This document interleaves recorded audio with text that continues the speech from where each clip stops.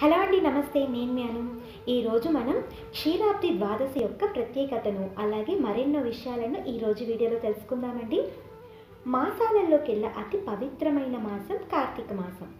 కార్తీక మాసంలోని పర్వదినాలలో ప్రధానమైనది క్షీరాబ్ది ద్వాదశి. ఈ రోజుని చిలుకు ద్వాదశి అని కూడా అంటారు. కార్తీక మాసంలో శుక్లపక్షంలో వచ్చేటటువంటి ద్వాదశిని క్షీరాబ్ది ద్వాదశి అంటారు. క్షీరాబ్ది ద్వాదశి ముందు రోజును ఉత్తాన ఏకాదశి అని అంటారు. ఈరోజు పాల సముద్రంలోని శేషశయ్యపై ఆషాఢ శుద్ధ ఏకాదశి నాడు శయనించి నాలుగు నెలల యోగ నిద్రలో గడిపిన విష్ణుమూర్తి యోగ నిద్ర నుండి మేల్కొని భూమి మీదకు దృష్టి సారించిన రోజు ఈ ఉత్తాన ఏకాదశి. అలా విష్ణుమూర్తి నిద్ర నుండి లేచిన మరుదినం కాబట్టి క్షీరాబ్ది ద్వాదశి పరమ పుణ్యదినంగా. మరియు స్వామి మేల్కొన్న సందర్భంలో భక్తులు స్వామిని కనులు తెరవమని తమ కోరికలు ఆలకించమని ఆ స్వామికి సేవ చేసుకొని భాగ్యాన్ని ప్రసాదించమని ప్రార్థించటానికి భక్తులంతా కలిసి క్షీరసాగరానికి వెళ్ళారు. ద్వాదశిన వెళ్ళినందువల్ల క్షీరాబ్ది ద్వాదశి అని అంటారు. అంతేకాదండి దీనికి మరొక కథ కూడా ఉంది. దీనిని చిలుకు ద్వాదశి అని అంటాం కదా. చిలుకు ద్వాదశి అనగా చిలకటం. ఈ రోజునే క్షీరసాగరాన్ని మదించిన రోజు. అమృతం కోసం పరమాత్మ ఆజ్ఞతో దేవదానవులు పాలసముద్రాన్ని చిలికారు.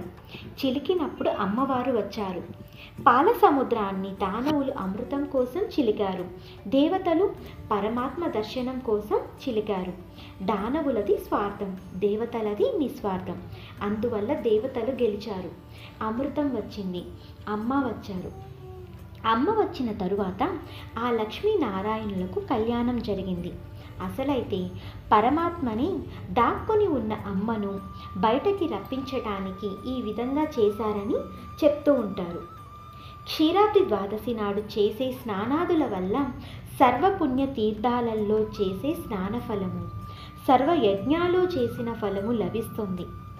ద్వాదశి ముందు నాడు ఉత్తాన ఏకాదశి నాడు ఉపవాసం ఉండి జాగరణ చేసి ద్వాదశి నాడు స్నానాదులు ముగించి వ్రతం ఆచరించి శ్రీహరికి తీపి పదార్థాలు నైవేద్యంగా సమర్పించి అన్నదానం చేస్తే అనంత పుణ్యఫలమని పురాణాలు చెబుతున్నాయి. ఈరోజు కనీసం ఒక్కరికైనా అన్నదానం చేయాలని అందువల్ల సూర్యగ్రహణ సమయంలో పవిత్ర గంగానదీ తీరంలో కోటి మందికి అన్నదానం చేసిన ఫలితం లభిస్తుందని చెప్తుంటారు. క్షీరాబ్ది ద్వాదశి నాడు సాయంత్రం శ్రీ మహాలక్ష్మిని పూజించటంతో పాటు మహావిష్ణువు లక్ష్మీదేవికి వివాహం కూడా జరిపిస్తారు. ఆ రోజు ముత్తైదువులను పిలిచి స్త్రీలను లక్ష్మీ స్వరూపంగా భావించి వారికి పసుపు కుంకుమ సమర్పించి దీవెనలు పొందితే స్త్రీల మాంగళ్యాభివృద్ధి జరుగుతుందని చెబుతుంటారు. అంతేకాదండి తులసి వనం పక్కన ఉసిరి కొమ్మ పెట్టి తులసి అమ్మని పూజించడం వల్ల అనంత పుణ్యఫలాలు కలుగుతాయని నమ్మకం. తులసి అనగా అమ్మవారు ఉసిరి అనగా విష్ణువు. కనుక తులసి మరియు ఉసిరి కొమ్మను పెట్టి ఈ రోజున వీరికి వివాహం జరిపిస్తారు. ఈ క్షీరాబ్ది ద్వాదశి రోజున వీరిద్దరికీ వివాహం జరిగినందువల్ల ఈ రోజున వీరిని వేరుపరచకూడదనేసి ఈ రోజున ఉసిరికాయ తినకూడదని చెప్తుంటారు. ఈ రోజున దీపదానం చేసిన పుణ్యం కలుగుతుంది. తులసి దగ్గర ఎన్ని దీపాలు వెలిగిస్తే అంత మంచి ఫలితాలు కలుగుతాయని నమ్మకం. ఎందువల్లనగా ఈరోజు స్వామి మేల్కొంటారు కనుక. స్వామి తలుపు తెరవగానే ఆ స్వామికి దీపకాంతులతో దారి చూపిన వారిపై ఆ పరమాత్మ అనుగ్రహం కలుగుతుందని. ఈరోజు తులసి వద్ద వెలిగించే దీపాలు పాల సముద్రంపై వెలిగించే దీపాలతో సమానమని చెబుతుంటారు. కనుక కార్తీక మాసంలో దీపాలను వెలిగించడం సాంప్రదాయం. కార్తీక మాసం ముప్పై రోజులు దీపాలు పెట్టలేని వారు ఈ శుద్ధ ద్వాదశి చతుర్దశి పూర్ణిమ రోజులలోనైనా పెట్టాలని దీనివల్ల వైకుంఠ ప్రాప్తి కలుగుతుందని శాస్త్రవచనం.